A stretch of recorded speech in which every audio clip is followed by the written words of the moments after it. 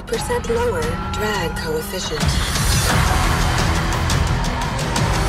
5% increase down force. 1.2% higher top speed.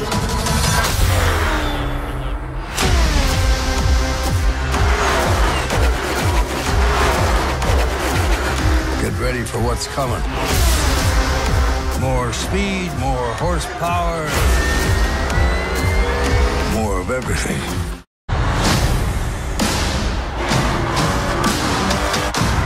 You'll never be the racer you once were. You can't turn back the clock, kid. But you can wind it up again.